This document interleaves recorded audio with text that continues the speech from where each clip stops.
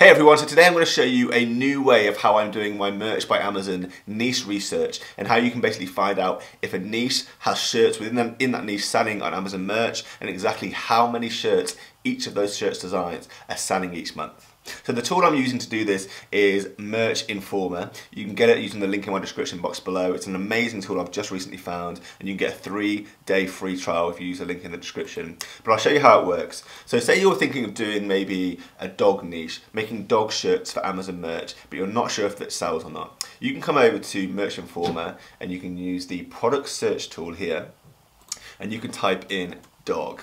So let's see if there's any dog shirts selling and then you say, I only want to see merch by Amazon shirts on the site. Only give me those results. So let's do a search for dog. Now, Merch Informer's got to go back to Amazon, you know, do all the requests, get the data back from Amazon. So it take maybe around 20 seconds to get that information back to you. But in a second, that information is going to pop up back on Merch Informer and you're going to see exactly if there are any shirts selling in the dog niche. So, all right, we've done a search for dog we can see it's come back with 100 shirts in that niche. So there's definitely shirts on Amazon merch selling in the dog niche. The lowest price shirt in that niche is $12.99 and the highest price is $25.99. So let's see what shirts are coming up in dog. If we go down to keyword count as well, we're seeing that there are, amongst all the shirts that have come back, we've got keywords that are common in all of those different shirts descriptions. So dog is in most of the results.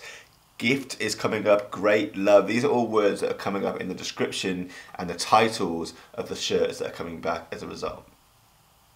So, let's have a look what we've got coming up. We've got the Dabbing Zoo. Here's a dog shirt here. Best dog tag ever.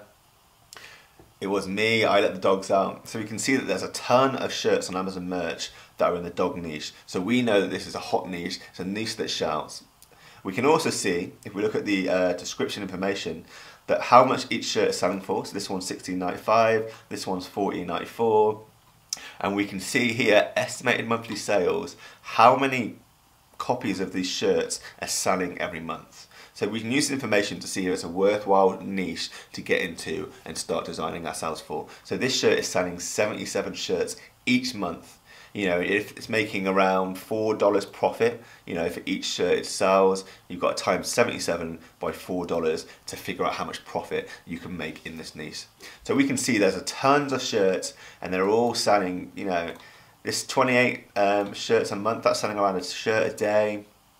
So we can see that there are some profitable designs in the dog niche. And we can even use the designs that come back to drill down even further, you know. So we've got a corgi shirt here. We could maybe then think about doing corgi shirts. Uh, we've got dabbing dogs. There's a dabbing dog here. There's another dabbing dub at the top. I've seen quite a lot of dabbing shirts on Amazon recently. So using this tool, you know, you start to see patterns and consistencies and it really gives you information and like ideas of what you can do in the future. But just the information, the way it's laid out in Merch Informer, you can do an easy quick search for the dog niche and see exactly how many shirts you can be looking to sell each month if you do a similar design to one of the best selling designs. You can't copy the designs exactly because of copyright law, but it can give you inspiration. So let's just try another quick niche now just for more examples so you can see exactly how amazing this tool is. so we look for car now, we've gone from dog niche to the car niche to see if the car niche is worth something that maybe we could design for in the future and try and sell shirts for ourselves. So we've gone to car, let's have a quick look. Come on, taking seven seconds, six, five.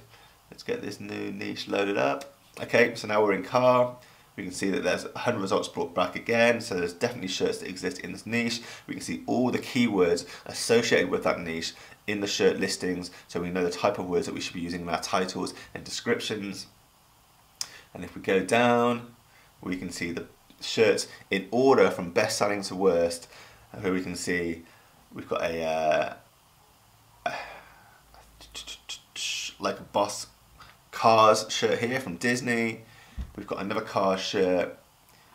We've got some uh, birthday shirts. I'm not sure why this is coming up with the cars niche. Maybe it's got car in the uh, description, so it's associated with car. Dinoco, that's the car brand from the Disney movie Cars. So we can see there's a lot of the Disney movies, Cars, is selling a lot of shirts. Down here, we can see a uh, Car Guy DNA shirt. It's selling 13 shirts every month. So this shirt's probably less profitable than the other one, unless you're Disney and you can sell it under the Cars brand. the highest you're probably looking to sell in this niche is probably 13 shirts a month. So that's another great example, you know, we can see using Merch Informer, you can find the bad niches as well as the good niches. So maybe you might decide this isn't as, e as easy a niche to get into, like more hasn't got the likelihood of making sales as the dog niche did, and you might keep looking and find other designs. But that's it really. I just wanted to give you a quick run through of this amazing, easy way that you can find niches, do niche research for Amazon merch, and see if it's a niche worth getting into. Like I said, I'm using Merch Informer to do this research. It's a new tool I've started using, and I'm using the product search area within Merch Informer to find that information out. So if you want to use Merch Informer yourself, use the link in the description box below. There's a three day free trial. I've just started using it. I'm loving it. I'm going to make a few more videos about all the other features that this tool's got because this has basically answered the question to all the problems I was having with Amazon merch up until now. So if you want to use that, use the link in the description box below. Make sure to subscribe to this channel for more Amazon merch videos and more making money online videos in general. You're watching Start Starting Up, all about selling online and building brands online. Thanks guys, bye.